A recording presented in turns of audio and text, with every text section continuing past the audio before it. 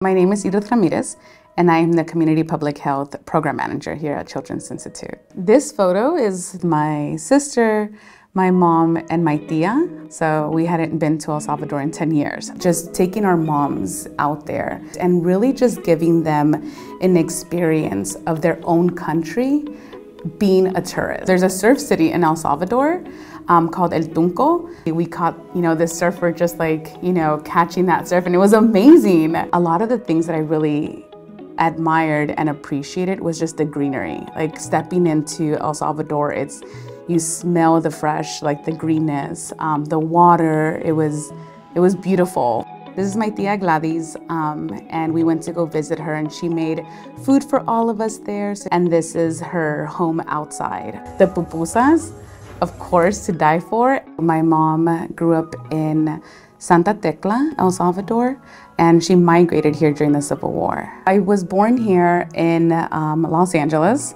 My role as a community public health program manager, we're partnered with the Watts Healthcare Corporation and really working in partnership with the residents here and learning from them of what healthcare gaps are, you know, identified here in the community.